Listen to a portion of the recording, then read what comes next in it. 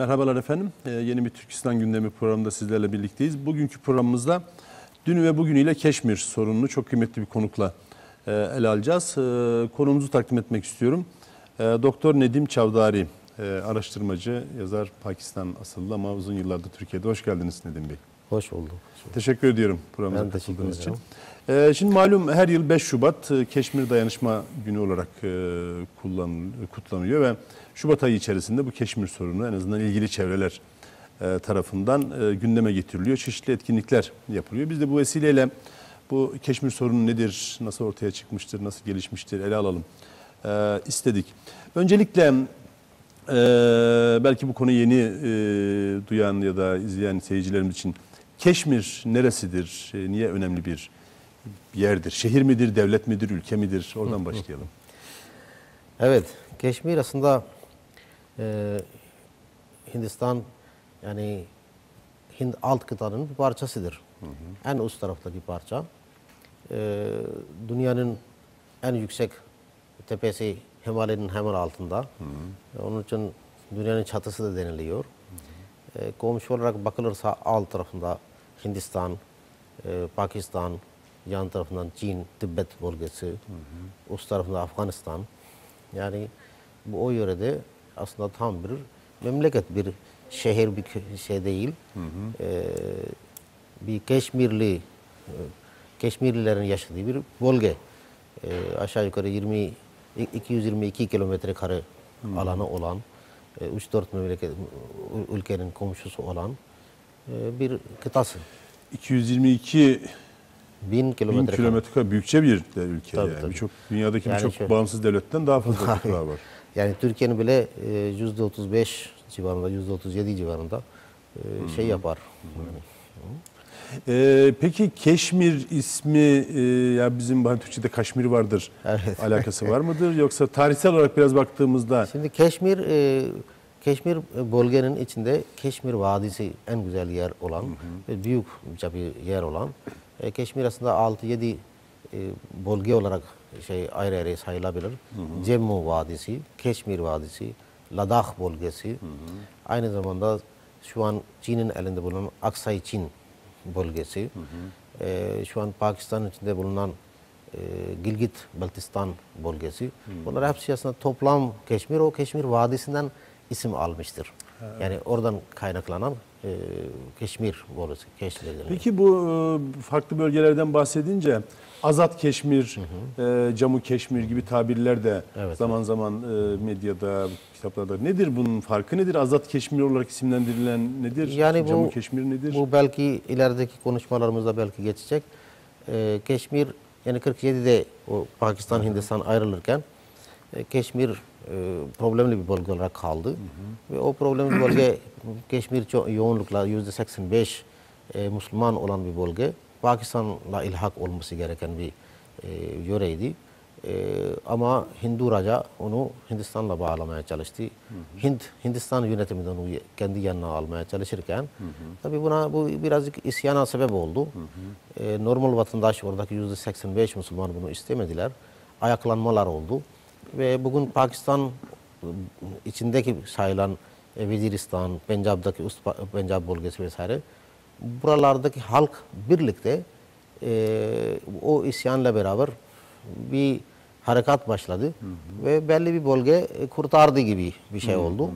O Pakistan'a bağlanmış gibi oldu. Oraya Sonra Azad Pakis- Keşmir Pakistan da onu bir işte Kıbrıs gibi, Kuzey Kıbrıs gibi ayrı bir memleket ilan edip şimdi o parça Azad Keşmir, kurtulmuş Keşmir olarak o- oradan isim alıyor. Camu ne? E, Cammu ve Keşmir, Ladakh bölgesi bu Hindistan el altında şey kalmış olduğu için onu aslında Pakistan'ın Makbuza Keşmir'ini işgal altındaki Keşmir. Cammu'da o Cam, bir Cammu Vadisi var. Keşmir Vadisi var, Ladakh bölgesi var. Bunlar e, oradan isim alıyor o. Evet şimdi e, bu Keşmir sorunuyla ilgili e, bizim arkadaşların hazırladığı küçük bir bandımız var. İsterseniz onu e, paylaşalım izleyicilerimizle Tamam, sonra kaldığımız tamam. yerden devam edelim. Olur.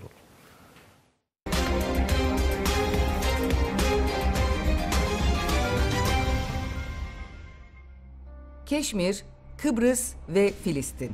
Üçü de İngilizlerin insanlık tarihine miras bıraktığı problemler. Üçü de Müslümanların yaşadığı coğrafyalar. Keşmir, İslam dünyasının bir başka Filistin'i. Hindistan'ın, Pakistan'ın, daha çok da insanlığın neredeyse 70 yıldır çözümsüz sorunu. Ünlü bir sözdür. Der ki, Keşmirsiz Pakistan eksiktir. Boşuna söylenmemiştir bu söz. Nüfusunun %77'si Müslüman, yöneticileri Hindu olan Keşmir'in Pakistan'ın parçası olduğu fikri çok eskidir. Hatta yine denir ki Keşmir dağlarından akan sular bile Pakistan'a doğru gider. Peki ne oldu da nüfusu Müslüman, Pakistan'la 1100 kilometrelik sınırı olan Keşmir, Hindistan'ın işgaline uğradı? İngilizler ana kıtadan çekilmeden hemen önce Müslümanların yaşadığı bu toprakları Mihrace'ye vermişlerdi. Keşmir halkı tam da kendilerine nereye bağlanmak istersiniz diye sorulmasını beklerken Mihrace siyasi tercihini Hindistan'dan yana koydu. Ayın 26'sıydı. Tam bir gün sonra Hindistan askerleri Keşmir'deydi. Halk o günü kara gün ilan etti. Hindistan ve Pakistan nedeni Keşmir olan ilk savaşa başlamışlardı bile. İşin ilginci Birleşmiş Milletler bu olaydan iki yıl sonra 1949'da Keşmir'de özgür ve tarafsız bir halk oylaması kararı aldı.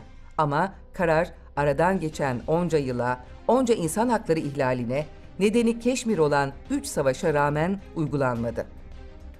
90'larda Hindistan'ın Keşmir'de konuşlandırdığı asker sayısı yarım milyona yakındı. Aynı yıl on binlerce Keşmirli Müslüman çatışmalarda öldü. Yıllar içinde bu sayı giderek arttı. Ancak Keşmir trajedisi çözümsüz, kabuk bağlamayan bir yara gibi öylece kaldı, kalıyor.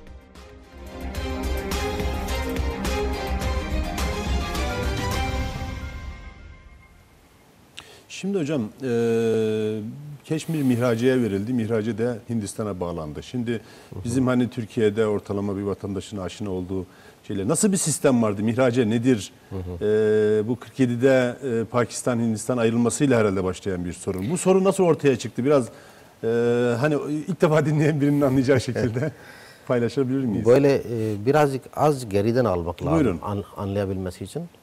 Aslında e, çok geri de gidilebilir ama az bir geri gitsek e, Keşmir aslında İslamiyet'le tanıştıktan sonra yani bu 1320'larda yönetim olarak ilk e, Sadruddin Şah aslında o da e, Müslüman değildi ama Bulbul Şah'ın e, bir sofunun elinde Müslüman oldu. Ondan sonra Keşmirli aşağı yukarı 250 sene Keşmir yerli yönetim idi. Yani Keşmir'i tamamen yerli sultanlar tarafından yönetildi.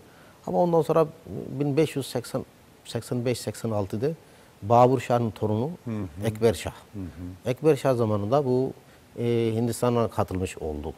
Ve ondan sonra da bu yine 200 seneye yakın Müslümanların yani elinde yönetimiydi. Sonra bu Afganistan'dan e, şey Ahmet Şah Abdali oraya girdi. Bir 60-70 sene e, Afganların elinde kaldı.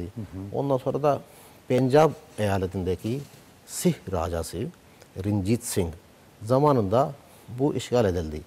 Ve ilk sefer Müslüman olmayan bir yönetimin altına girdi. Başına 1800 1780'larda bu oldu. Ondan sonra bu İngiliz zamanı başlıyor şeyde Hindistan'da. Hindistan'da İngiliz sömürgesi dönemi. Evet, Hin- Hindistan sömürgesi döneminde bu Pencab ne zaman düşüyor İngilizlerine, o zaman e, Keşmir Singh, Singh tarafından Gulab Singh yönetimindeydi. Gulab, e, Ranjit Singh'in bir şeysi, bir, bir komandan e, Gulab Singh onun elindeydi. Gulab Singh, İngilizler Gulab Singh'e bunu satıyorlar. Ee, ona diyorlar ki tamam 7,5 milyon liraya karşı içindekilerle beraber Gulab Singh'e devredildi. Neyi, ülkeyi mi devrediyor? Evet. İçindekiler, bir de içindekilerle beraber deyince herhalde oradaki insanlar da sayılıyor. Bir, bir nevi Keşmir Kore olmuş oldu. Bunu, bunu İngiliz yaptı yani. Yani böyle bir yöntem var mıdır hocam? Bir ülkeyi bir başka ülkeye para karşılığı. Yani yani bu e, Neye dayandırılıyor bu yani? güce dayanıyor herhalde. İngiliz güçlüydü orada. E, orada Gulab Singh'e devrediyor. E, Gulab Singh orada yaklaşık yüzde on civarında Hindu nüfusuyla beraber bu yönetim yönetiyor ve çok büyük zulümler başlıyor. E, bu zulümler altında ezilen halk 50 sene böyle devam ettikten sonra yavaş yavaş ayaklanma ve e, Keşmir'i kurtarma, onun yönetime karşı ayaklanmalar yapılıyor. Sömürge yönetimine karşı. Sömürge yönetime karşı. E, aslında e, bunu azat ettirme çalışmaları. Aynı zamanda o sırada da Hindistan'da da İngiliz'den e, yani e, kurtulmak için hareketler başlıyor. E, bu sırada tabii e, İngiliz çıkarken Hindistan e, oradaki Müslümanlar ayrı bir memleket istiyorlar. Pakistan, Hindistan olarak ikiye ayrılıyor. Genel bir kural icabı işte nüfusu nerenin Müslüman fazlası kim Pakistan'a ilhak etmek istiyorsa o Pakistan'a e, ilhak ediliyor. Hindu nüfusu ağırlıkta olan da Hindistan'a katılıyor. Burada nüfus yüzde 85 civarında Müslüman Keşmir'in. Otomatik olarak bekleniyor ki Keşmir Pakistan'a ilhak edilecek. Fakat e, yönetimi Hinduydu. O Mihraja Gulab Singh, Gulab Singh'in daha doğrusu torunu o zamanki Hari Singh bu Hinduydu. Bu Hindistan'a katılmak istiyordu. Ama yüzde 85 nüfusu Müslüman bunu istemiyordu. Bunu şu andaki o, o zaman Hindistan yönetimiyle işbirliği yaparak gizlice bir anlaşma yapmaya kalkıyor ama e, bir anlaşma yapıldığı söyleniyor. Az önceki VTR'de de 26 e, şeyinde tarih söyledi. O tarihte bir anlaşma ama o anlaşma da yoktur. Neden yoktur? Şimdiye kadar hiçbir yerde gösterilmemiştir. Sadece söyleniyor bu anlaşma yapıldı. Ama böyle bir anlaşma varsa bile e, bir memleket işte mihraca veya bir memleketin yöneticisi başka bir memleketle anlaşma yaparak iş bitirmiş olamaz. Ee, orada aslında vatandaşa sorulması gereken bir şeydi. O sorulmadı. Sonra bu konu tabii ki isyan, isyan için bir sebep oldu. O isyandan kaynaklanan e, kavga çıktı. E, yüz binlerce insan telef oldu. Milyonlarca insan yerden e, oldu. E, göç o- oldu. E, ama sonra bu iş e, Birleşmiş Milletler'e kadar gitti. Birleşmiş Milletler'de de karar verildi ki bu burada bir plebisit olması lazım. Fakat Halk o- oylaması. Ha, halk oylaması olması lazım. Ama o halk oylaması hala bekleniyor. Yani Birleşmiş Milletler halk oylaması yapılmasına karar verdi. Bunu Hindistan ve Pakistan kabul etti mi? Evet. Bu e, İlke, düz- ilke olarak. Evet bu bin, e, 1947'de bu ayrılma olduğu zaman e, şeyi 20 27 26 10 2000 e, e, 1947'de bu mihraca güya şeyle La- Jawaharlal Nehru ile bir anlaşma yapmıştır ve Hindistan'a ilhak etmiştir. Ona dayanarak 27'sinde yani bir gün sonra Hindistan kendi askeriyesini e, Keşmir bölgesine indirdi.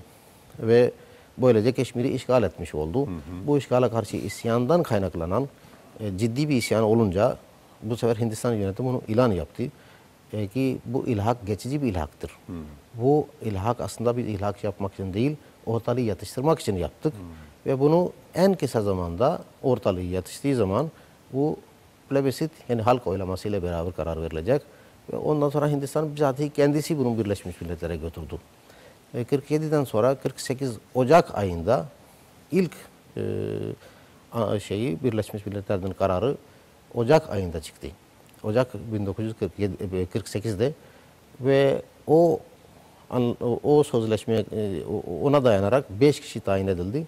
O 5 kişi de e, Keşmir bölgesine geldi, Hindistan ziyaret etti, aylarca çalışma yaptı ve ondan sonra bir rapor hazırlayıp verdiler. O rapor e, orada hem Pakistan hem Hindistan hem Keşmirli yetkililer hepsi Birleşmiş Milletler önünde karar verdiler ki evet bu halk oylamasıyla karar verilecek.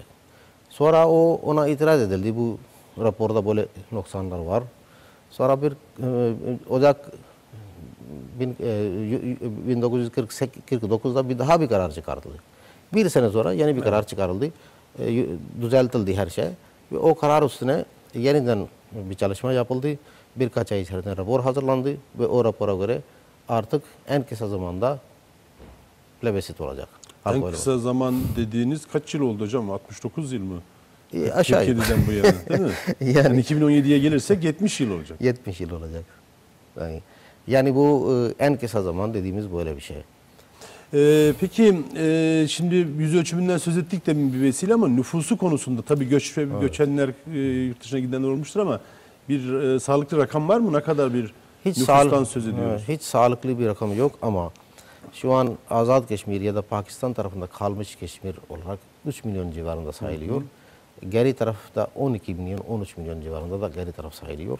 Bunun dışında e, yani 1 milyona yakın e, değişik ülkelere göç edip yerleşmiş olan insanı. Yani 15 ile 18 milyon arasında bir nüfus olarak Keşmir nüfus. Tabii sağlıklı bir sayımda yapılamıyor Değil. şartlar Yapılam- gereği. Evet yapılamıyor.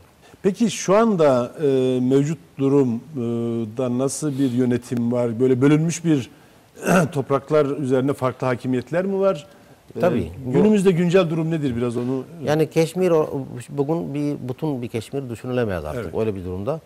Ee, yani bir bir bölüm zaten Pakistan'ın içinde artık Pa- Pakistan topraklarının içinde ka- karışmış.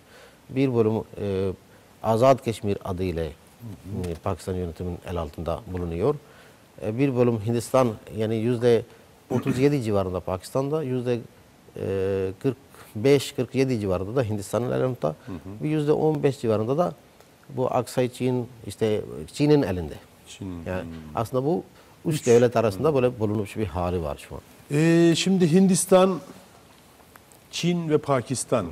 Böyle Keşmir'in önemi nedir? O bölgenin önemi nedir? Yani eko, yeraltı kaynağı mı vardır? E, geçiş bölgesi midir? Stratejik bir boyutu mu vardır?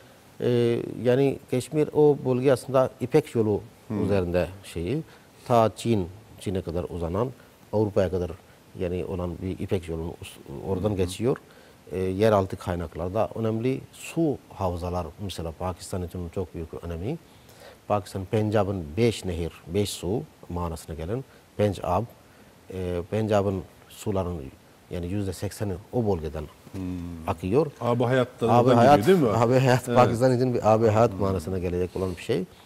E, onu onun dışında e, öyle bir yüksek bir yer ki orayı ele geçiren hem Çin hem Hindistan'a üst- üstten bakıyor, Pakistan'a, İran'ı ve Rusya hepsinin ortasında kalmış stratejik bir bölge. Hakim bir nokta. Hakim bir nokta. Herkes oraya Tabii, hakim tabii. olmak istiyor Tabii. dolayısıyla. Tabii.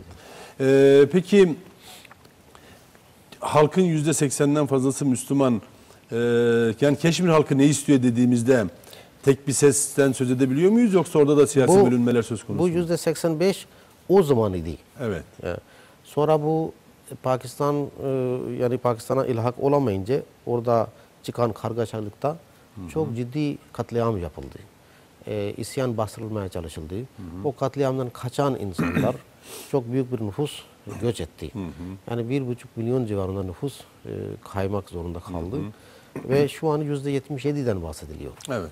Bizim Ya bir VTR'de kere- de yüzde 77 geçti Tabii. zaten. E, o, o oradaki yüzde yetmişi oradan hali, evet. oradan kaynaklanan bir şeydir. E, yani e, tabii asimile edilmeye çalışılıyor. Hin- e, yani Hindu nüfus orada bir şekilde çoğaltılmaya çalışılıyor. E, sorunuz neydi şimdi? Yani e, Keşmir halkı ne istiyor Ha, özetle? Keşmir halkı Özellik mi istiyor, bağımsızlık mı istiyor, Pakistan'a bağlanmak mı istiyor? Aslında Keşmir halkı baştan beri hep Pakistan'a bağlanmak istedi. E, onu şöyle bir durum var. Yani bir kere aynı din mensup olma, oranın halkının çoğunluğunun aynı din mensubu olma. Evet. İkincisi de e, alt kıtasına yani Hint alt kıtas- kıtasına Keşmirliler aşağı indiği zaman genelde Pakistan'dan geçmek zorundalar. Hindistan'a olan çok az bir e, bölüm var. Mesela e, VTR'de de geçti. E, Pakistan'la 100 e, 1100 kilometre e, şey var, sınırı var. Hindistan'la da bir 500 kilometre civarında bir sınır var ama o 500 kilometrenin büyük bir bölümü e, geçilmez dağlık bölgedir. Yani orada bir şey yoktur. Aslında Keşmir'e olan Hindistan'ın bağlantısı e, yani bir vilayetlik bir orada bir şey var. O vilayet de aslında Pakistan'a dahil oluyordu. O zaman İngiliz o çizgiyi çizerken zaten oradan biraz bu tarafa kaydırarak çizdiler ki bir yol kalsın. Yoksa Hindistan'a bir direkt bir şey. O yüzden Hindis, e, yani suların akıntısı hep Pakistan'a doğru. Yolların şeysi hep Pakistan'a doğru. Dolayısıyla kültür birliği de Pakistan'la beraberdir. Evet. E, din birliği de Pakistan'la beraber. İster istemez oranın nüfusun ekseriyeti Pakistan'a bağlanmak istiyor. Evet, şimdi e, telefon hattımızda bir konuğumuz var. Fazla bekletmeyelim hocam. E, telefon hattımızda e, Burhan Kayatürk var. Alo, Ee, iyi- yayınlar diliyorum. Merhaba, nasılsınız? merhabalar, hoş geldiniz programımıza. Efendim Burhan Kayatürk, Pakistan Türkiye Dostluk Derneği Başkanı. Aynı zamanda şu anda Van milletvekili. Efendim teşekkür ediyoruz programımıza katıldığınız için. E, Ben teşekkür ediyorum. E, Başarılar diliyorum. Sağ olun. Ee, bugünkü programımızda e, Keşmir sorununu ele alıyoruz. Siz de bu e, bölgeyle ve sorunla yakından ilgili bir isim olarak katkılarınızı, yorumlarınızı almak istedik. Ee, Keşmir sorununu e, ortaya çıkışı ve günümüzdeki ifade ettiği anlam sizin yorumunuzu alabilir miyiz efendim? Tabii şimdi Keşmir İslam aleminin yarayan kanalar, daha doğrusu kanayan yaralarından bir tanesidir maalesef. Evet. Keşmir halkı e, çok büyük bir mücadele veriyor. Ancak Keşmir'in Pakistan tarafındaki Keşmir, Hindistan tarafındaki Keşmir olmak üzere biliyorsunuz ikiye bölünüyor. Evet. Şimdi bir kere Türkiye Cumhuriyeti Devleti her zaman Pakistan halkının yanında oldu. Bundan sonra da inşallah yanında olmaya devam edecek. Ancak Keşmir söz konusu olduğunda biz Keşmir ile de Pakistan'a bağlan illa da özgür bir ülke olsun demekten ziyade Türkiye halkı olarak, Türkiye Cumhuriyeti Devleti olarak diyoruz ki Birleşmiş Milletler'in 1947'de Evet. self determinasyon hakkı Keşmirliler verdiğini biliyoruz. Ve bu hakkın kullanılması gerektiğine inanır. Keşmir halkı Hindistan'da kalmak istiyorsa Hindistan'da kalır. Zaten orada çok önemli bir şu anda Hindistan'da. Evet. Halkı Pakistan'a bağlanmak istiyorsa kendi topraklarına onların da böyle bir hakkının olduğuna inanıyorum. Yani Bununla beraber ben ne Pakistan'da ne de Hindistan'da gitmek isterim. Bu saatten sonra ben özgür bir ülke olmak istiyorum diyorsa Evet. bunun da yine kendi iradesine bırakılması ve Birleşmiş Milletler'in ta 1947'de verdiği bu hakkın kullanarak Keşmirlilere saygı duyulması gerektiğine inanıyoruz. Evet. Ee, Yani Türkiye'nin bakış açısı bu. Evet. Ee, Benim de e, yani hem Pakistan'ı, Keşmirli kardeşlerimizi çok seven bir insan olarak e, en uygun gördüğüm çözüm bu.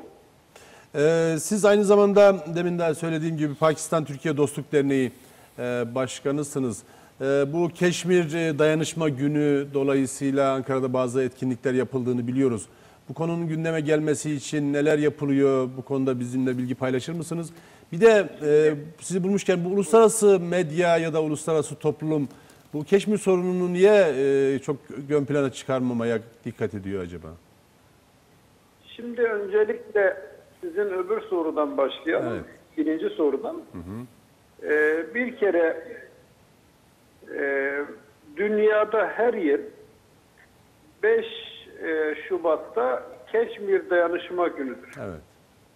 bütün e, Keşmirlileri seven, Keşmir'in özgürlüğüne inanan, Keşmir halkının iradesine saygı duyan insanların e, Keşmirlerle o gün bir dayanışma günü vardır. Biz her sene bunu Türkiye'de yapar. Türkiye Pakistan Dostluk Derneği olarak yapar. Evet. Ben hem Türkiye Pakistan Dostluk Derneği başkanlığını yapıyorum hem de e, üç dönem parlamentoda Türkiye Pakistan Parlamentolar Dostluk Grubu Başkanlığı yaptım. Eş başkanlığı. Şimdi öyle olunca tabi bu dönem benim böyle bir şansım yok. Çünkü ben bu dönem komisyon başkanıyım. Komisyon başkanı olduğu zaman herhangi bir ülkenin Evet. dostluk grubu başkanı olamaz.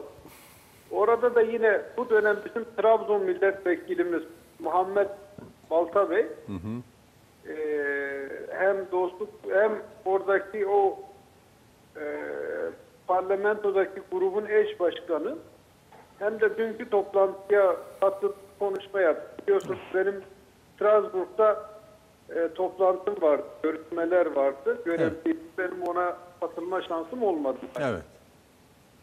Ancak biz Türkiye halkı olarak özellikle Türkiye-Pakistan sevgisine çok önem veren Türkiye-Pakistan Dostluk Derneği olarak ve parlamentodaki grup olarak bu arada şu anda Türkiye Büyük Millet Meclisi'nde en büyük grup Türkiye-Pakistan Parlamentolar Dostluk Grubu.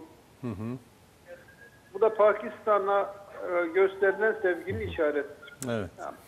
Dolayısıyla biz Pakistan insanını, Keşmir insanını hiçbir zaman yalnız bırakmadık. İnşallah bundan sonra bırakmayız. Niye gelince tabii Keşmir neden dünya Evet. gündeminde bu kadar e, yer almadı? Maalesef dünya gündeminde yer almanız için haklı olmanız e, gerekmiyor. Güçlü olmanız yeterli olur. Birleşmiş Milletler'in çok açık ve net olarak Keşmir halkına verdiği bir hakkı 1947'den bu yana Hindistan inkar etmekte. Tamam. Birleşmiş Milletler böyle bir şey kabul etti ama ben kabul etmiyorum diyor. Oysa başta kabul etmiştir. Ee, aynı zamanda maalesef medyaya baktığınız zaman Evet. çok ciddi bir ikiyüzlülükle karşı karşıyasınız. Bakıyorsunuz yani Fransa'da dört tane insan öldürüldüğü zaman ki biz buna da karşıyız. Ee, yüz binlerce insanın üstelik yüzlerce devlet başkanı, başbakanının Paris sokaklarında yürüdüğünü görüyoruz. Evet. Ama Keşmir'de senelerdir insanlar öldürülüyor. Yani e, çok büyük bir diktatörlükle e, mücadele var orada. E, kimsenin sesi yok. Evet. Bundan çok daha önemlisi bugünlerde hepimizin bildiği bir gerçek olduğu için söylüyorum. Suriye'de 300 bin insanı öldüren bir diktatör ses çıkarmıyor. Dolayısıyla Evet. Güç ilişkileri böyle belirliyor bir, diyorsunuz. bir, bir e, güç meselesi var. Evet. Bugün Suriye'de maalesef e, yani Rusya, İran ve Çin e, bütün dünyaya meydan okurcasına Evet. Suriye'deki yanlışların devam etmesine, kanın dökülmesine e, bir şekilde dünya gözünü yummuş durumda. Evet. Keşmir'deki olay da, Filistin'deki olay da, Gazze'deki olay da benzer olaylar. Efendim. Allah'a hamdolsun. Evet. Ee, Türkiye'de artık bu mazlumların, mağdurların hem İslam aleminde hem bütün dünyadaki mazlumların e, sesi olarak kabul edilen bir yapı oldu. Bir lider var, Recep Tayyip Erdoğan. Ee, Başbakan e, Evet. Davutoğlu ve hükümetimiz Allah'a hamdolsun e, Burma'daki mazlumların da yanında, Gazze'de mazlumların da yanında, Keşmir meselesinde de söylediğim şekilde Keşmir halkını ihmal etmemek. Evet. Efendim e, çok teşekkür ediyorum bizimle görüşlerinizi Ben paylaştığınız için. E, çalışmalarınıza başarılar diliyor. Sağ olun. Ben başarılar diliyorum. Yani Nedim Bey'e de selamlar. Çok Aleykümselam. söylüyor. Ben dinliyorum. Evet. Ee, Fahri Bey çok teşekkür ederim. Sağ Biz olun. teşekkür ederiz efendim. Sağ olun. E, evet Burhan Bey de. e, Burhan Bey'in değindiği şey buyurun. çok önemli. Bakın işte Hindistan, Pakistan az önce siz de sordunuz. Ee, Hindistan da Pakistan da Birleşmiş Milletler onun da bir imza attı, kabul etti. Ve hem 48'de hem 49'da verilmiş olan kararı e, 56'da inkar etti. Ha, Birleşmiş Milletler'in bu kararını, bu e, E, plebiscit kararını Plebiscit kararını e, direktmen hala kendi kaderini ha- kendi tayin etme evet, hakkını kabul etti. Sonra inkar mı etti? hala tamamen direkt e, inkar etmiyor ama ne yapıyor? Önlem alıyor. Mesela e, 56'da bir karar kendi meclisinden çıkarttı bir kararla e, Keşmir Hindistan'dan Hindistan'ın ayrılmaz bir parçasıdır. E, bu- bunu bu, bu o- o- daha önceki söylediğin inkar değil mi?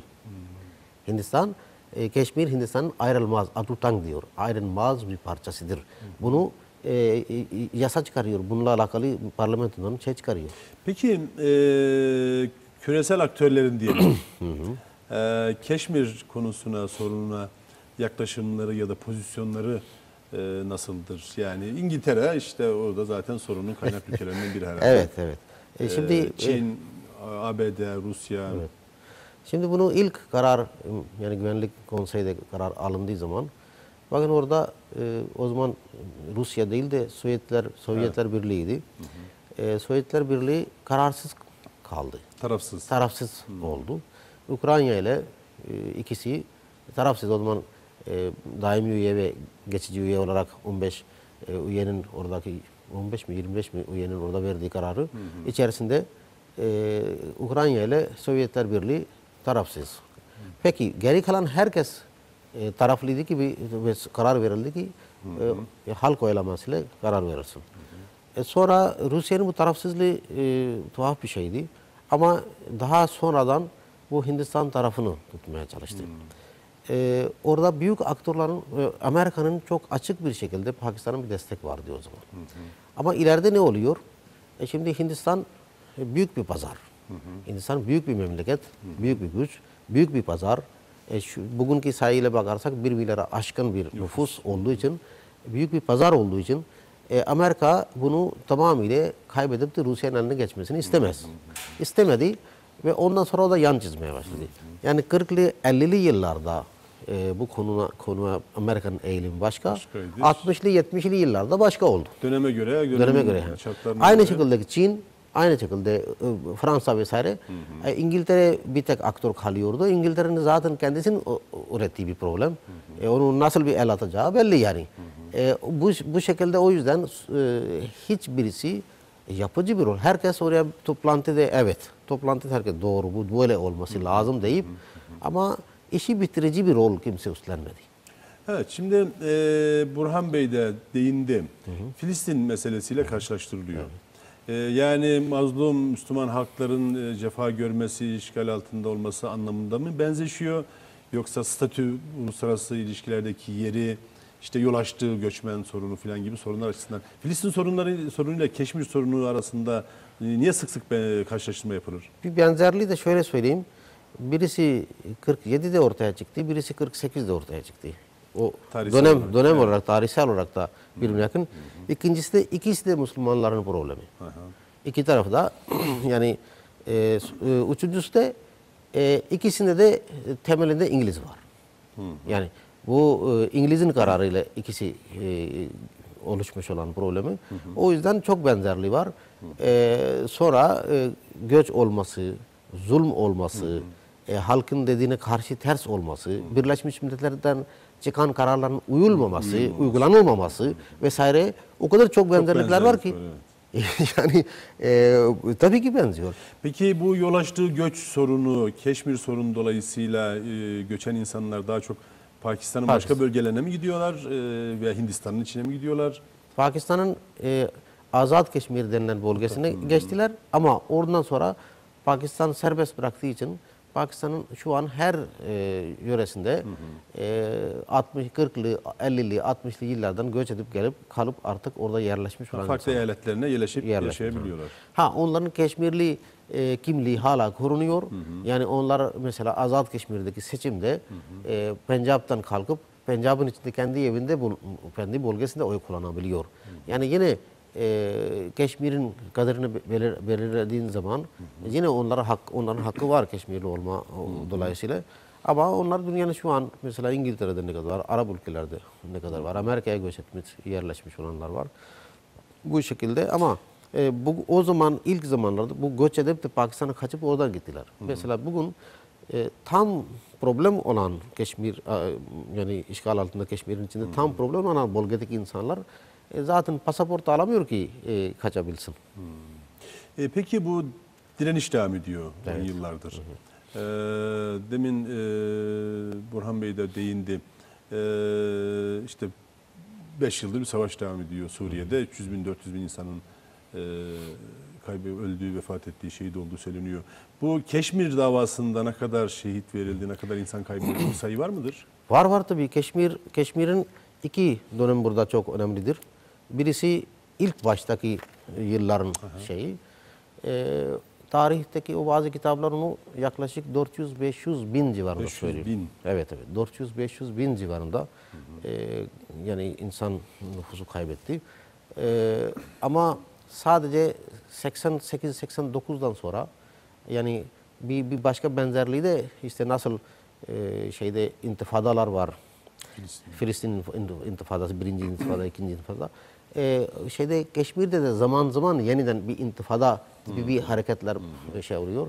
Bu hareketlerin aslında e, Afganistan direnişinden sonra bir ilham oradan kaynaklı ilhamla. E, 88-89'da e, yeniden işte aslında 84'te e, Keş, şeyde Kargal denilen bir bölge e, Hindistan yine işgal etti.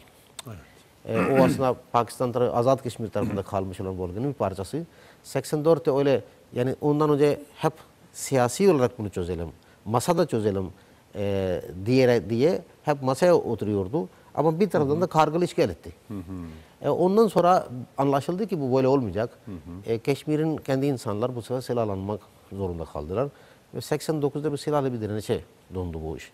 89 ile 2014 arasındaki rakamlar ben size söyleyeyim. E, se- Ocak 89'dan 2014'e kadar olan e, sadece şehit sayısı 94.101. 101 denilebildiğine göre kayıtlı. tabii tabii kayıtlı. 94.101. Bunun içinde e, tuhaf olan şey tutuklu olarak e, yani göz altında 7024 kişi göz altında Gözaltında göz altındayken hayatını e, hayatını kaybediyor. Yani e, bu dönem içerisinde 126.964 kişi tutuklandı. 126 bin. Ee, vefat sayısından daha fazla tutuklu. Vefat sayısından daha, daha fazla tutuk, tutukludur. E, bunun içinde e, aynı zamanda 22.786 dul kalan var. Evet. Yani şeyi e, 10.129 tecavüz vakası kaydedildi. E, yani bu şekilde ama çok tuhaf olan bir şey kayıp sayısı 10.000 civarındadır. Evet. Şimdi hocam buradan kaldığımız yerden devam ederiz. Telefon hattımızda bir diğer konuğumuzu bekletmeyelim. Ee, telefon hattımızda Profesör Doktor Oya Akgönenç var. Alo. Alo, hayırlı günler efendim. Efendim teşekkür ediyoruz programımıza zaman ayırdığınız için. Estağfurullah.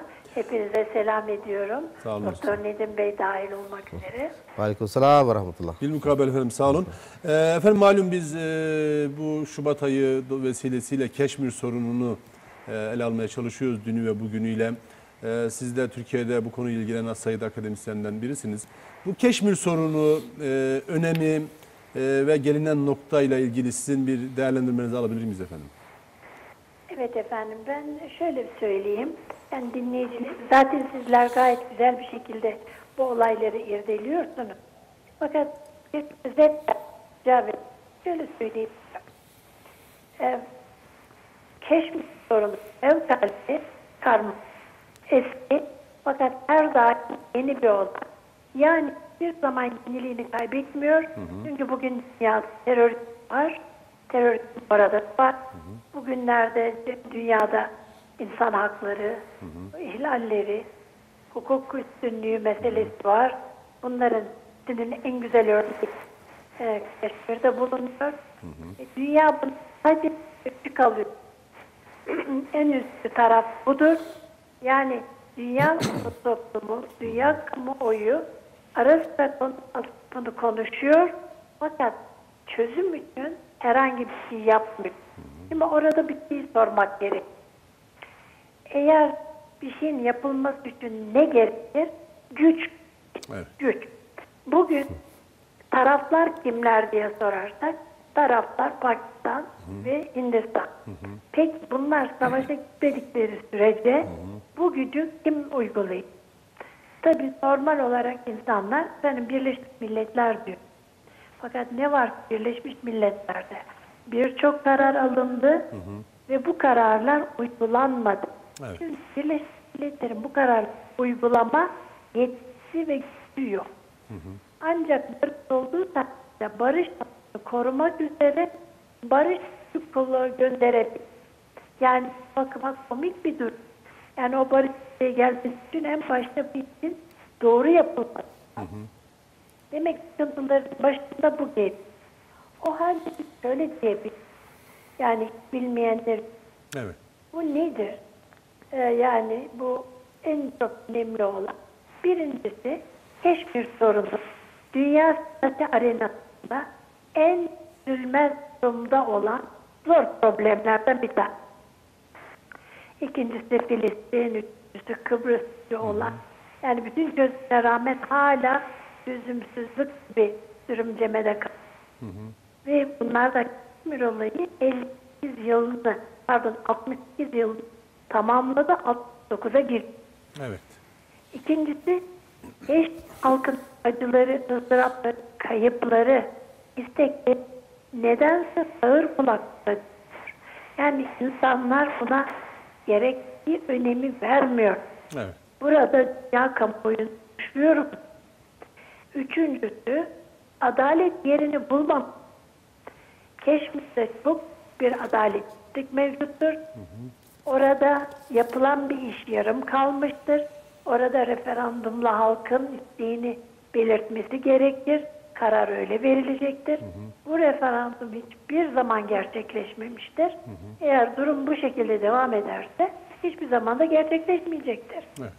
Dolayısıyla öyle çaka maka değil, orada çok büyük bir adaletsizlik mevcuttur.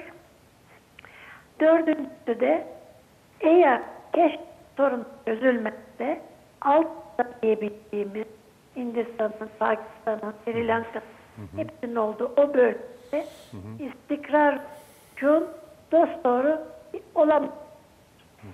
Mutlak süreç bir karış. Tabii bana sorabilirsiniz yani bu kadar bir e, manzarayla Evet. ben bir de bunu müsbet düşüncelerle dengelim derim eğer izin verirseniz. Ben diyorum ki bütün işaretler önümüzdeki yılların az yılı olacağını gösteriyor. Bu demek ki Amerika'sı, Rusya'sı, Çin'i, Hindistan'ı her ve bizler de dahil Türkiye, İran, Doğu ve Avrupa Asya ile çok ilgileneceğiz ve yakından ilgileneceğiz. Şu anda bile dünyadaki ekonomik merkezler ve denge Asya'yı. Siyasi dengeler de onu e, takip ediyor. Evet. Şimdi bunu neden söyledim? Çünkü merkez Asya olunca Evet. Asya içinde bu kronik sıkıntıların başında Keşmir var. Evet. O zaman diyorum belki platform bütün ışıklar o bu platforma çevrilince belki keşfinde bir çözüm imkanı doğar. Çünkü eğer orada bir- gelişme, bir güç mücadelesi olacaksa hiçbir bunun dışında bırakılamaz. Evet. İkincisi son günlerde Pakistan'la Hindistan arasında Heart of Asia konferans gibi yani Asya'nın kalbi adı altında İslamabad'da bir konferans var. Bir bazı yazarlara göre yani Pakistanlı yazarlar veya da yabancı yazarlara göre buna diyorlar çok büyük bir fırsat, çok büyük bir açılım. Yani bunu İngilizce breakthrough. Yani breakthrough dediğin zaman böyle kayaların, zorlukların arasından geçip hani tünelin ucunda ışık görmek gibi bir şey. Evet. Fakat bunu dedikten sonra ben kendi kendime düşünüyorum. Acaba biraz fazla mı ümitliler? Yani ben bu konferansta bazı adımlar veya ifadeler duyuyorum ama böyle hani tünelin ışık göründüğü gibi şey de göremiyorum. Evet. Neden? Çünkü Hindistan'ın genel mesela Afganistan'a karışması, oraya silah yardım yapması, bazı diğer projeler beni endişelendiriyor. Evet. Biraz önce Doktor Çağdaş dedi ki yıllarca konferansa oturacağız, karar verdik dediler. Ondan sonra işgal edip. Evet. Yani bu e, Hindistan'ın yapmayacağı şey değil. Onun için çok dikkatli olmak gerekiyor. Evet. Üçüncüsü diyeceğim ki uluslararası terörizmle mücadele azmi bence Keşmir'e de uzatılmalı. Ve oradaki en büyük terörizmi devlet eliyle Hindistan yapıyor. Keşmir halkının içindeki gruplar, bunlar Müslümanlar, Hindular, Budistler, diğer gruplar artık kendi aralarında da Evet. bir destek kurmak, bir il- iletişim kurmak zorundalar. Çünkü sonuçta bu ülke onların ülkesi Evet. ve onların da etkisi olmalı. Ve son olarak da diyorum ki işte bizim şu anda yaptığımız gibi dost ve kardeş ülkeler bu olayın tanıtımında, halkın desteğini almakta, haklı ve haksız tarafları net bir şekilde anlatmakta yardımcı olmaya devam etmelidir diye düşünüyorum. Efendim çok teşekkür ediyoruz. Çok e, özet ve deli toplu bir şekilde e, paylaşmış olduk. Çok sağ olun. Çok teşekkürler. Sağ olun. Teşekkür ederiz. Evet, e, Oya Hocam da olayı Evet. Çok net bir şekilde. bir şekilde güzel toparladı diyelim. İzleyicilerimize aktarmış olduk. Şimdi hocam zaman çok hızlı geçiyor ve süremizin sonuna geldik. Son olarak gelecek öngörünüz, Oya Hanım da geleceğe dönük bir değerlendirme yaptılar. E, Keşmir'e ilişkin ne tür gelişmeler öngörülebilir yakın orta dönemde? Neler varsayılabilir? Oya Hanım. Oya Hanım çok e, güzel özetledi ki yani e, dünyanın artık merkezi e, şey kayıyor e, Asya, Asya'ya. olarak ve Asya'nın problemi bütün dünyayı ilgilendiriyor ve Asya'nın en kronik problemi de Keşmir problemidir. E, hele Güney Asya'nın e, asıl problemi Keşmir problemidir. Pro- Keşmir problemi eğer çözülemezse Güney Asya ve dolayısıyla Asya'da huzur olamaz. Huzur, evet.